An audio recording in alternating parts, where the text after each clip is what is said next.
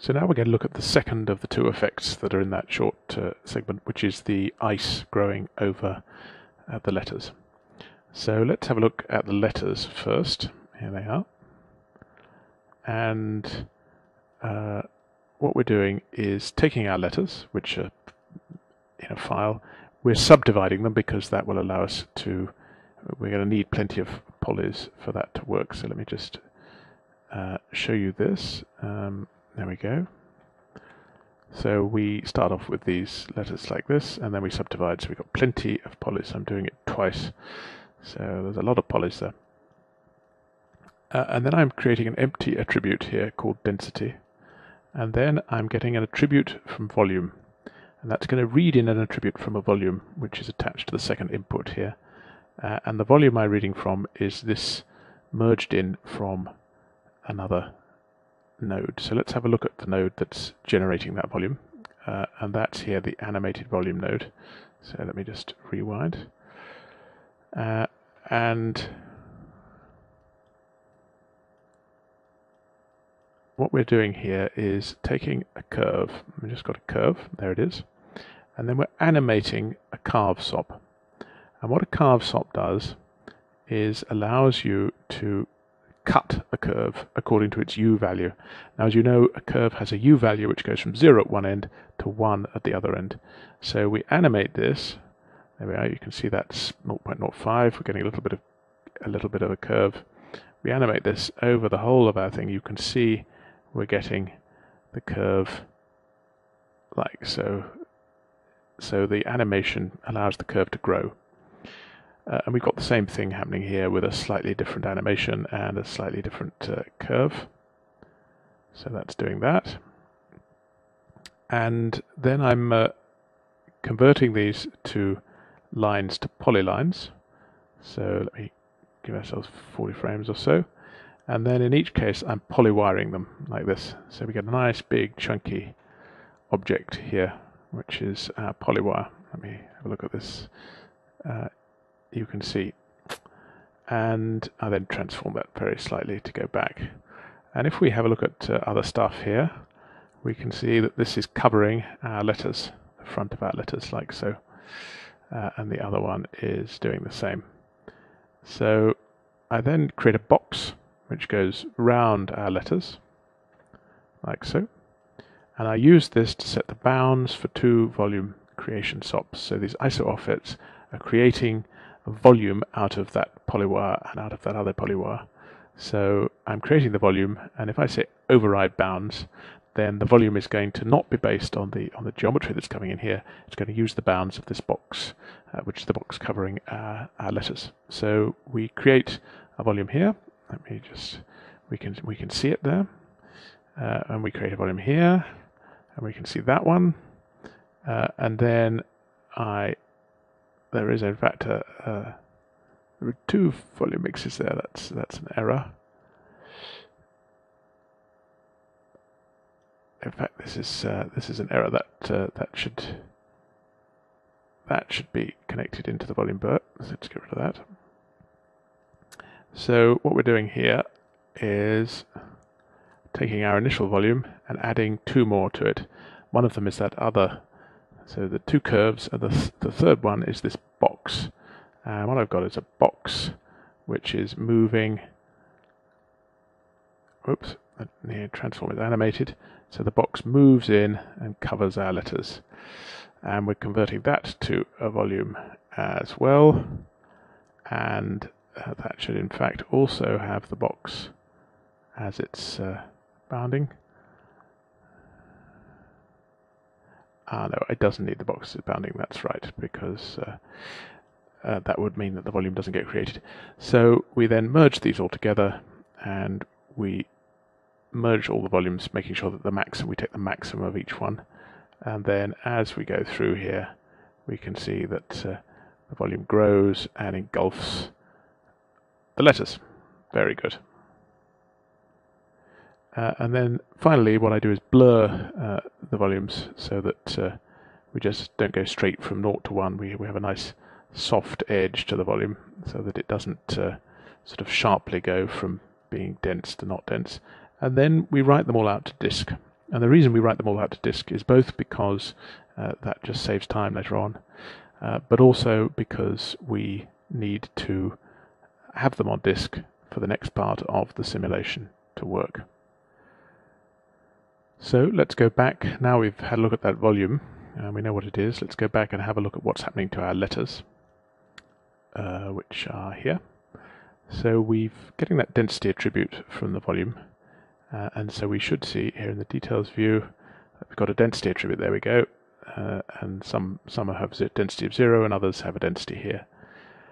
And then I just use an attribute uh, wrangle to take a value away. Let's just expand this. So all this is doing is just adjusting this density value downwards by an amount and making sure that the range still retain, remains the same.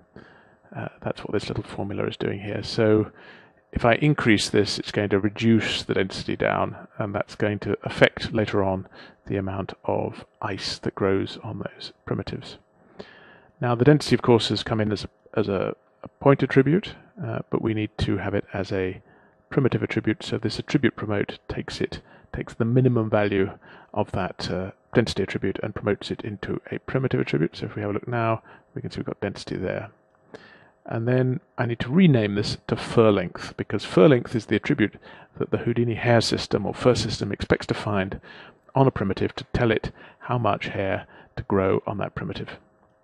Uh, and so uh, that uh, is where we are. And we can now go and have a look at the hair system or the fur system to see how that's being used. So at the end of this, we've got our geometry, our primitives with a fur length attribute. Now, by default, the fur system in Houdini expects to find a fur length attribute in order to tell it how much, how, how long the hair is that it's going to grow. And it does that uh, it adjusts the, the length of hair here that you put in here, the length of fur here, by that attribute. And by the way, the other thing you, you need to do here is um, turn off the randomization of length. Otherwise, even where your hair is hair length is zero, you still may get some some some some fur or some ice. So let's uh, let's zoom in on. Uh, uh, oops, I didn't mean to do that. Let's zoom in on our geometry and uh, we may be able to see some fur in a minute when we move through. So as this goes through, there we go. As this goes through, those little yellow dots, you may not be able to see them very clearly. That's some fur growing on there, which is what's going to become our ice. Now, out of the box, uh, this node doesn't allow you to animate the fur length attribute or, or, to generate the fur length attribute outside of this network itself. So I've had to change the network. That's why this is red. And what you need to do is you need to dive down into it. And then uh, it's a very complicated network, but you do not need to understand all of it. Uh, but you do need to go down into the skin node and you need to bypass both of these add fur length and the paint fur length nodes, which are the things that set up the fur length under the default system. And that way it doesn't overwrite them and it'll just read the fur length off uh, the primitives that you're generating in here. So what that's doing is that at every frame it's regenerating the fur and it's doing it according to the animated fur length attribute here uh, and that in turn is being generated from the volume. And uh, I should say, by the way, that uh, we've tweaked a little bit the appearance of these uh, this fur. Where are we? Uh, let's find the fur again. So uh, the appearance is somewhere here.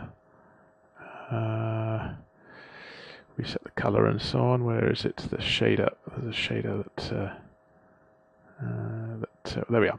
So we can go to the material, and instead of it normally being the sort of leopard skin pattern, I've just made it white and uh, turning to grey at the top.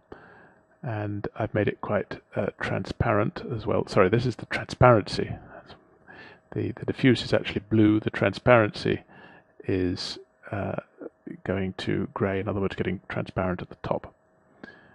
Uh, and the, the basic thing is blue. So that's the, the hair that's being generated, and that will, because it's very short, that'll look like ice. And the second thing you will have noticed from that from that animation is that the letter goes from red to blue as the as the ice approaches. And that's uh, another reason we needed to write those volumes out to disk because we've adapted one of the shaders here. Uh, the let's have a look in the shop context actually. Um, we've got a shader here which is going to take account of those volumes. So let's zoom in. And what we're using is this thing called volume sample file, and that allows us to take a volume that's written out to a file on disk and find uh, the value of that volume at the particular point that we're currently shading. So we pick up the point that we're currently shading. Very important, it needs to be in world space. This object will being will be being shaded in object in camera space rather. So we need it in world space. Uh, the file name is just the, the file name of the of the volume, and there's obviously a new volume file for each frame. We clamp it to make sure it's between 0 and 1, and then we use that to drive that uh, color ramp, a color ramp which tells you the color of, it's going to tell you the color of the shading, the diffuse color of the of the uh, of, of the point we're shading. And the other thing we're doing up here is using that same value to mix two different specular angles so that the specular angle on the icy part will be different from the specular angle on the uh, uh, the, the normal part. So if we have a look, uh, it's giving us an error. Um, this is giving us not sure why it's giving us an error, but it's it's working. So here we can see that diffuse ramp color that I was talking about. So the volume is where the where the density is zero, we're going to get this this red reddish color, and where the density is greater than zero, we're going to go into this blue color. So it's going to start coloring things blue, and then we look at the reflectivity. Uh, there are two reflectivity angles, uh, specular angle normal, and then somewhere, not sure where that's gone there will be another specular angle which is for the icy part.